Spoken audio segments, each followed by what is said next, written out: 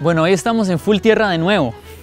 ¿Se recuerdan que la vez pasada estuvimos hablando de la cobertura seca?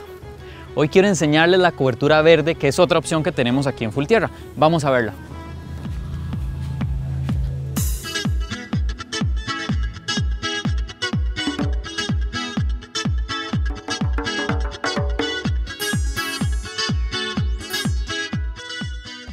La vez pasada estábamos hablando de las coberturas secas, ¿cierto? La brucha, el cartón, el periódico. Lo que pasa con esas es que ustedes tienen que estarlas poniendo constantemente, principalmente en la lluvia, que se descompone muy rápido. Pero hoy hablamos de coberturas verdes. Lo chiva de estas es que ustedes las siembran y ellas se mantienen solas y se van repartiendo, van cubriendo toda su huerta.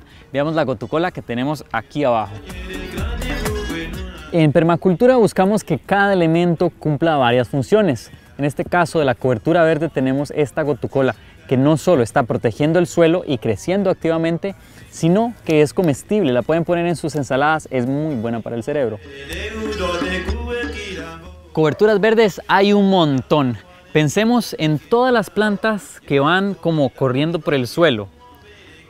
La verdolaga, las diferentes variedades de espinaca, las cucurbitáceas, sandía, eh, pepino, ayote, chiverre, Mm, bueno, en fin, hay un montón. El camote, el camote también, por ejemplo, el camote que va ahí por el suelo. Todas estas plantas que van haciendo como una alfombra verde van a servir para proteger su huerta del sol, del viento y de la lluvia.